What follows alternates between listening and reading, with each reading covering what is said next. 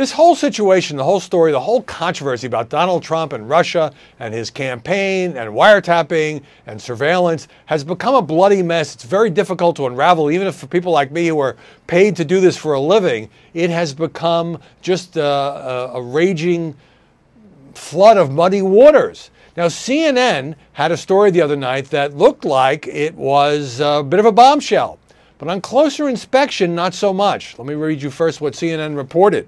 Um, the FBI, this is according, of course, to unnamed sources, has information that indicates associates of Donald Trump communicated with suspected Russian operatives to possibly coordinate the release of information damaging to Hillary Clinton's campaign. Whoa, that sounds like a really big deal, but let's look at the wording. To possibly coordinate the release of information damaging to Hillary. Well, did it happen or did it not happen? A couple sentences later in this same report that aired on Anderson Cooper 360, um, you hear the following. Though officials we've spoken to caution the information is not conclusive and the investigation is ongoing. Okay, so now we have this possibly happened, but it's not conclusive. And then, still further uh, watering this thing down, these officials, again, unnamed sources, say it is premature. Some of these officials say it's premature to assume that the campaign, Trump campaign, colluded with Moscow based on largely circumstantial evidence. So there are a whole bunch of qualifiers and uh, words in there that make you wonder what does CNN actually have?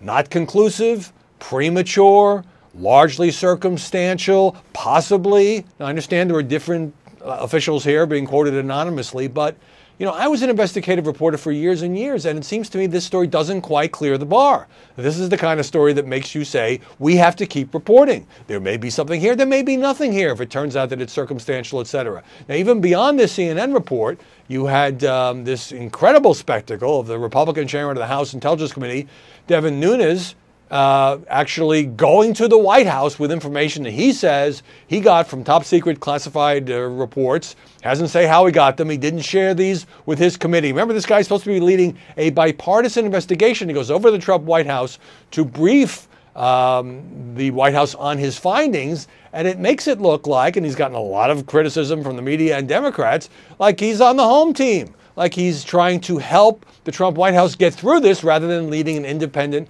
bipartisan investigation. Even in the case of Nunes, it's not clear what he has. He seems to be suggesting that information about um, Trump transition aides uh, may have incidentally, that was his word, incidentally surfaced on wiretaps of foreign citizens. Well, that happens in U.S. intelligence all the time. Doesn't mean Trump was targeted. And by the way, he says this happened during the transition, not during the campaign. Remember, Donald Trump's original charge was that Barack Obama had him targeted for wiretapping or surveillance during the 2016 campaign. I know all this is ridiculously hard to follow, and I think that's ultimately the point.